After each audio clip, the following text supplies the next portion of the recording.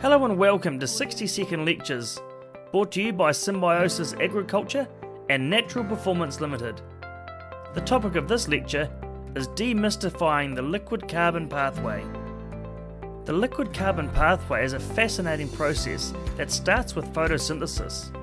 So, plants taking the sunlight's energy and carbon dioxide are converting it into sugars which the plant then uses to grow but also to inject a percentage of those sugars into the soil to feed the soil organisms in return for nutrients.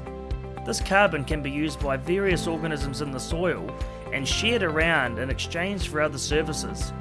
Or it can be stored deep in the soil for thousands and thousands of years for use when it is later required. The liquid carbon pathway is five times faster at building soil carbon than decomposition alone and as well as being a food source for microorganisms, it is also important for soil structure and water holding capacity. Carbon is also a powerful chelator. It can bind to positive and negative charged ions, as well as buffering heavy metals and other toxins in the soil. This has been another 60 second lecture.